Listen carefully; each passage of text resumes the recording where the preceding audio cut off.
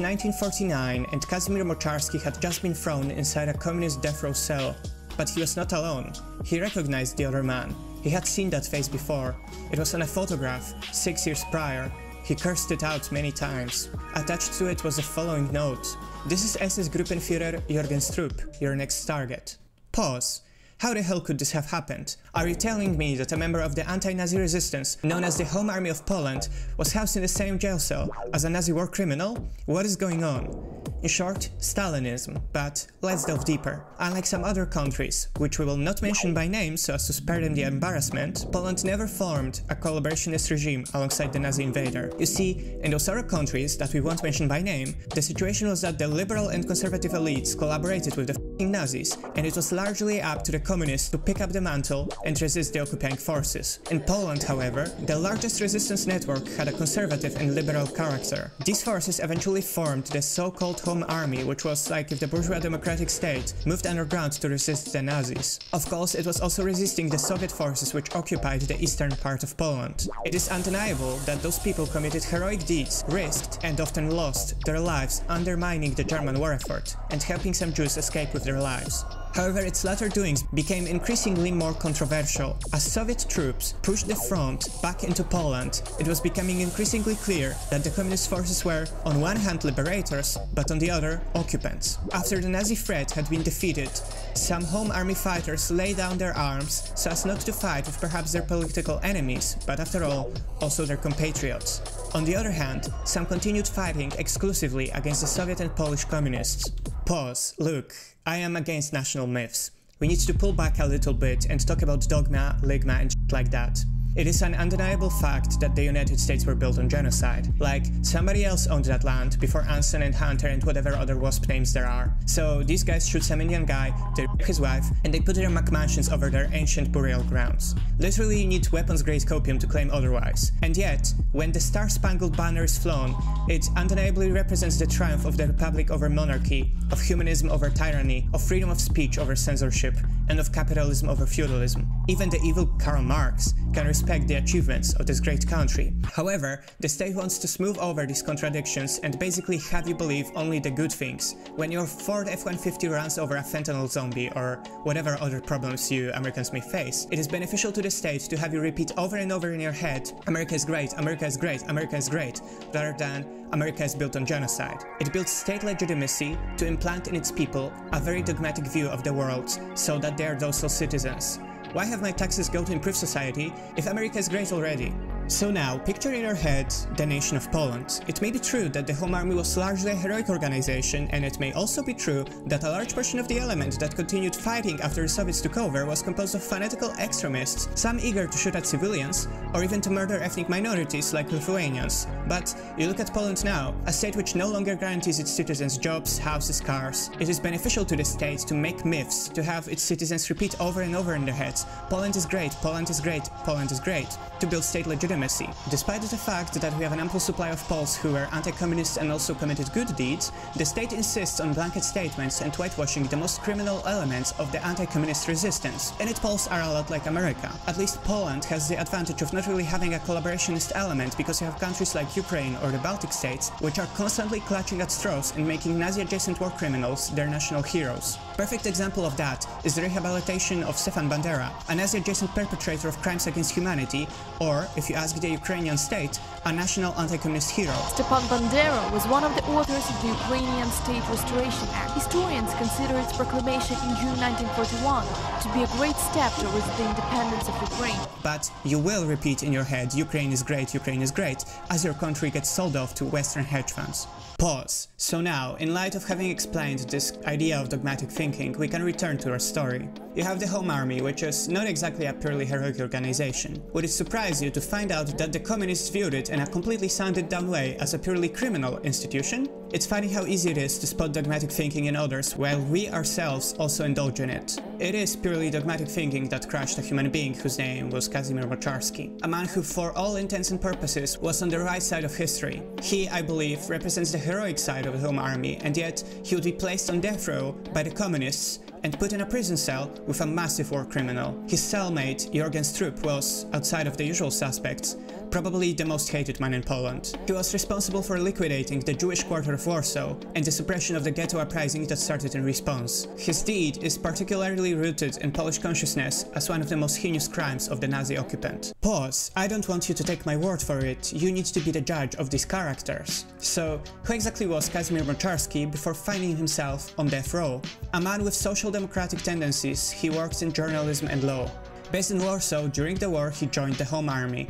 There he worked in their secret judiciary branch. Remember when I described the Home Army as a bourgeois democracy forced underground by the occupant? Well, alongside fighting, it also attempted to carry out some vestigial functions of the state. One of these was to put Nazis and their collaborators, as well as those who extorted Jews in hiding, on trial. These courts were strange in that the defendant didn't know that he was on trial, and the defense had to make a case for them without their presence. Because the underground did not have prison facilities, the only form of punishment would be a bullet to the head.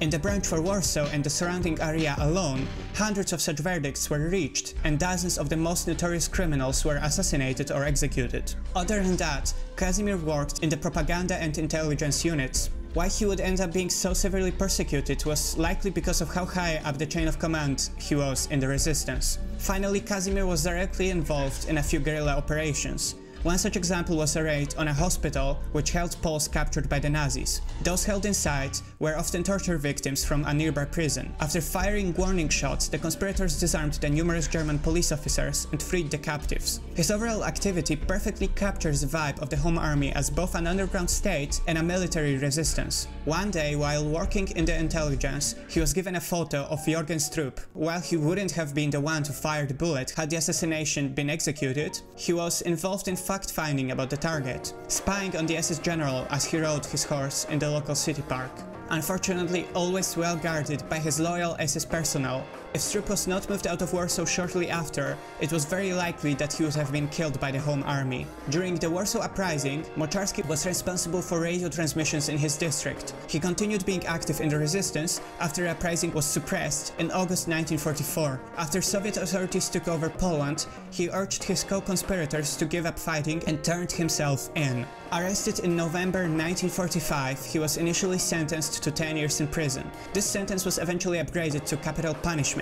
In 1949, he was moved to death row cell inhabited by none other than Jürgen Stroop himself. Spoiler alert, Moczarski lived through the encounter. It seems that the authorities were not eager to actually carry out his execution, as he stayed on death row until after the death of Stalin. In 1956, he was released from prison, and many years later he was officially pardoned by the communist courts. In 1970s, he published his account of the many conversations that he had with Jürgen Stroop, who himself was thankfully executed back in 1952. He died aged 68, shortly after his book was sent to print. It is from this book, Conversations with Executioner, that we can learn about the other protagonist of the story, SS Gruppenführer Jürgen Stroop a lowborn German from the city of Detmold, the capital of the Principality of Lippe. Lippe was a tiny state that belonged to a princely family since time immemorial, and through a fluke of history remained sovereign as one of the smaller states within the German Empire. The family built an opulent castle and within its shadow grew up the future SS general. As he recalled, it was his lifelong ambition to himself one day possess such a castle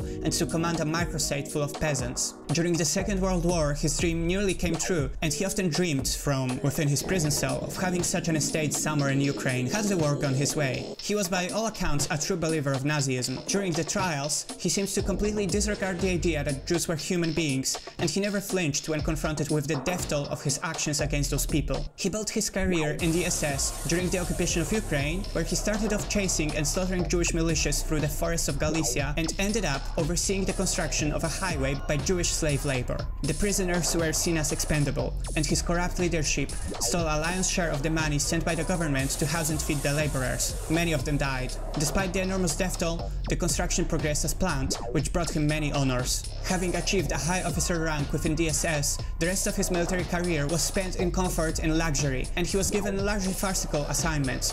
For instance, in 1943, he would get to drive a luxurious BMW limousine allotted to him by the SS to Austria, where he trained a mountaineer division. This SS man went on hikes, simulating the conditions of the Caucasus, and were getting ready to be sent to Georgia to chase after partisans. Thankfully, the Germans never crossed into Georgia, which meant that Stroop never got to realize his murderous plans there. After the plan fell through, he was sent to Warsaw.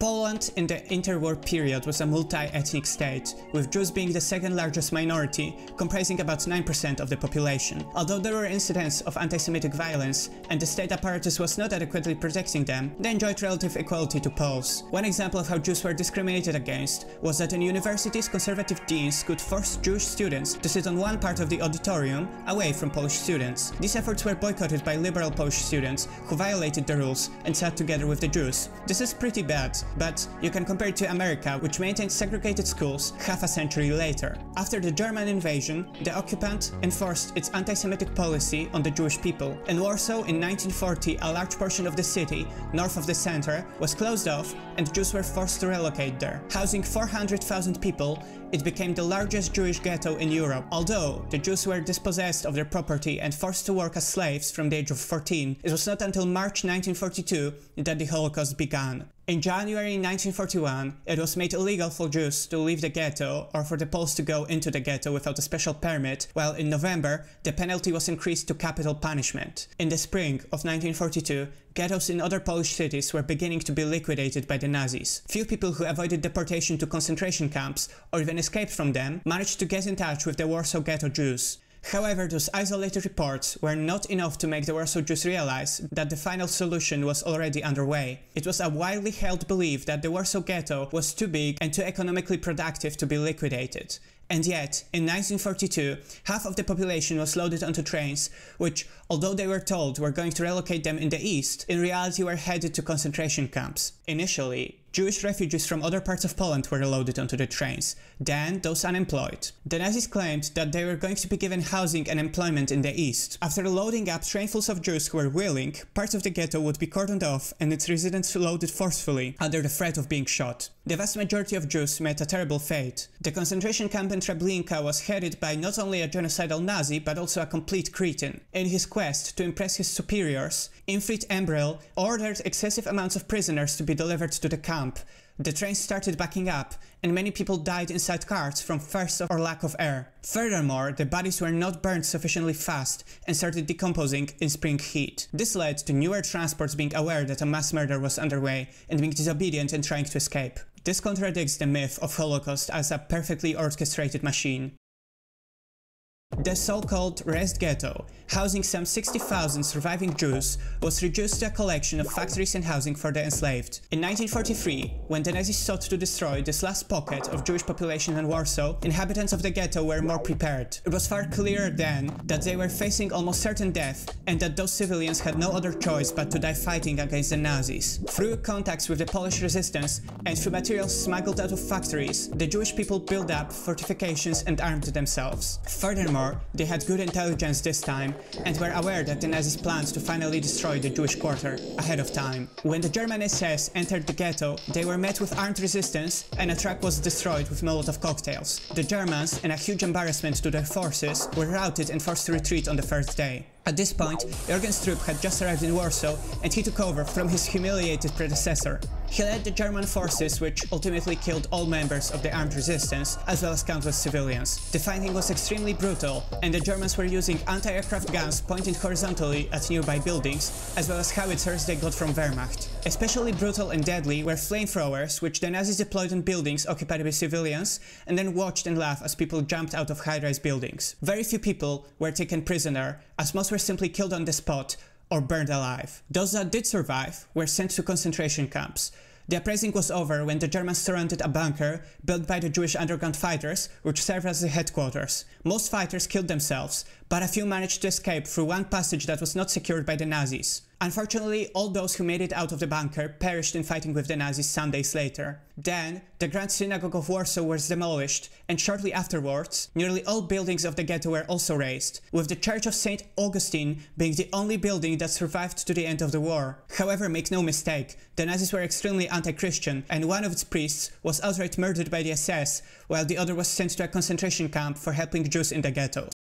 The way that Stroop recounts the events of the uprising says a lot about how f***ed in the head the Nazis were. He sees himself as a noble knight, while Jewish fighters, who evade him by hiding in sewers, are often compared to rats. There is this basic disconnect between him and reality. He doesn't respect the enemy's courage in fighting for a lost cause to preserve their and their family's dignity, and simultaneously thinks that fighting an asymmetric war, where he has all the advantages and is also generally slaughtering civilians, is somehow courageous.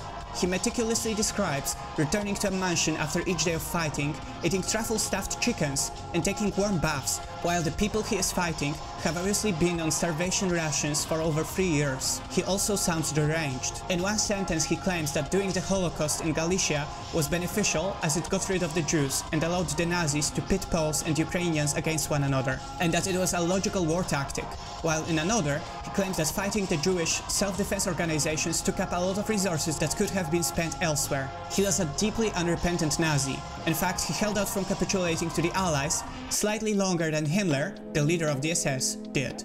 It is impossible to understand an SS general. Like, sure, we can say that he internalized the idea that the Jews were not human, but even if we ran with that, then when he set fire to buildings and watched people jump out of windows while he shot at them and laughed, this violates some basic human notion of morality. No sane person would do that type of violence, even to an animal or an inanimate object. I guess we can say that he thought the Jews were the source of all evil. This kind of helps rationalize his actions, but it begs another question. What sort of a brain deformation do you have to have to think that the women, children of all ages, and also men, who are people basically just like you, that those people literally make evil exist on Earth? How could such a stupid idea have infected the minds of millions? Reading Moczarski's story, you don't come away with some sort of great realization about the nature of Nazism. The only conclusion that I made in the end is that Jürgen Stroop was a literal rabid dog. You don't try to understand why this dog bites, because the dog itself doesn't really know why. You take that hacking pupper behind the shed and you shoot him in the head. Stroop, the most hated man in Warsaw, would be seen by passerbys, and an occasional spy of the Home Army, perhaps one going by the name Moczarski, in city parks, riding a white horse, surrounded by SS foot soldiers, as well as Lithuanians and Latvians under his command. Justice did not catch up to him as soon as it could have because he was sent to Greece. It was a cozy assignment, almost like a vacation. He was involved in politics and in overseeing the Greek police force from a comfortable office in Athens. Afterwards came an assignment to West Germany. Stroop got to live out his childhood fantasy there. He was given a mansion stolen from a Jew that ran away overseas in the 30s. He would command some 100,000 SS police officers, which were less busy at home. However, luxury eventually devolved as the Allied bombings intensified. At some point, he was proud to be the only person in town whose place had all the glass windows intact. Other people had to board up their windows after they broke from Allied raids because there was a shortage of glass.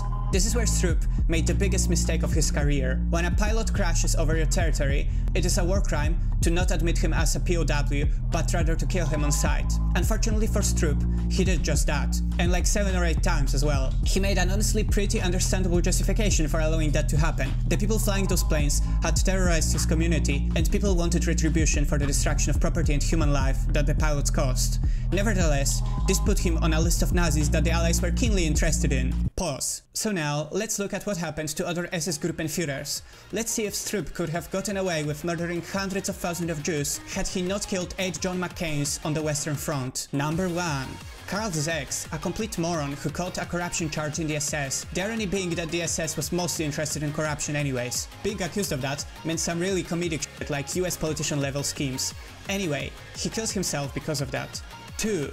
Kurt Wittje, indicted by the Reich Central Office for Combating Homosexuality and Abortion, which sounds like something that would be headquartered in Florida and founded by the Koch brothers. Lost his SS rank. Afterwards, he stole some businesses from Czech Jews and was eventually executed by the Soviets. Number 3. Richard Wendler, did similar shit to Stroop, but slightly to the east, in Lublin. He supposedly slipped away from American courts by using a false identity, spent three years convicted by the German Federal Republic.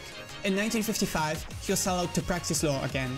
Otto Gustav von Wachter, a terribly criminal person. He was the governor of Krakow and then Galicia. Ran away to the fucking Vatican from Austria and Italy. That's not all. He fucking killed himself by swimming every day in the polluted river Tiber until his liver fucking exploded in 1949.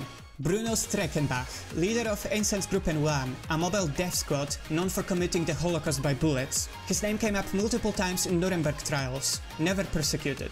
Jakub Sporrenberg, War crimes in Minsk and Lublin, captured by the British, given up to Poland and executed in 1952. Max Simon, war crimes in Italy. Also back home, he had a farmer hanged for taking guns away from Hitler-Jugend children and throwing them in a lake.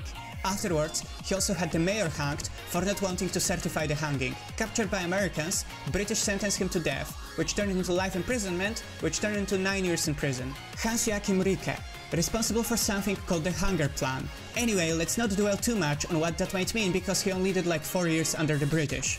Heinz Reinefarth suppressed the Warsaw Uprising. Think else with flamethrowers burning an entire city to the ground, often with many people still inside the buildings. He got held up for the duration of Nuremberg trials, then let go. He became the mayor of an island resort town off the coast of Germany.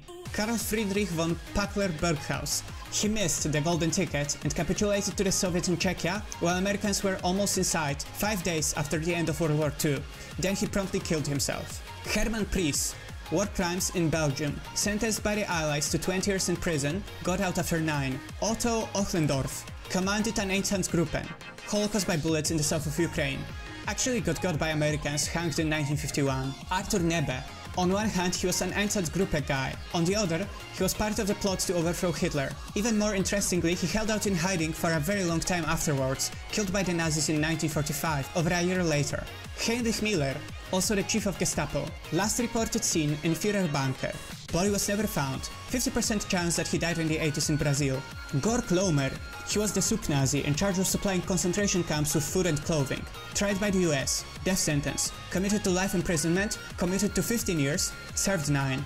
Hans Lammerding, war crimes in France. In an absolute boss move, West Germany refused to give him up to French, so he served no time. Wilhelm Kube, made the mistake of hiring a Soviet partisan as his mate, blown up in 1943. Fritz Katzmann. He's probably the most similar to Jürgen Stroop in that he first came up with the idea of making a detailed report of war crimes and calling it the Katzmann Report, which Stroop did with the Stroop Report. Managed to adopt a false identity, escaped to a German island on the Baltic Sea, supposedly died a few years later from an illness, but he could have escaped to Brazil, who knows. Konstantin Kammerhofer, massive war criminal, worked as Himmler's personal envoy to Croatia, which is a big red flag, imprisoned by the Americans, witnessed in Nuremberg trials, not charged, lived in West Germany. Albert Hoffmann, regional leader of the Nazi parties in Silesia and Westphalia, personally inspected Auschwitz during his tenure, ordered the killing of Allied crushed pilots, got only 4 years.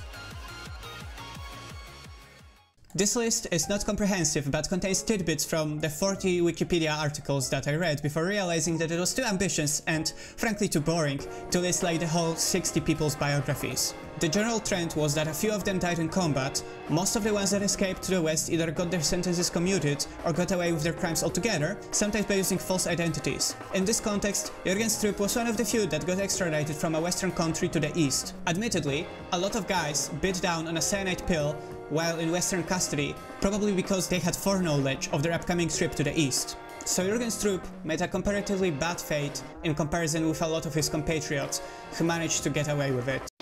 One fateful evening, a guard knocked on the prison door. SS Gruppenführer Jürgen Stroop had spent the last seven years in prison. All this because he was afraid of taking his own life, which was a path many of his people chose. Being on death row for a large chunk of that time made him come to peace with what was coming, and he didn't fear death anymore. According to letters sent by the prosecutor some years later to inquiring Moczarski, his execution went smoothly, with Stroop remaining composed as a noose was put around his neck. No final wishes, no screaming about the return of the Fourth Reich. Just stoic acceptance.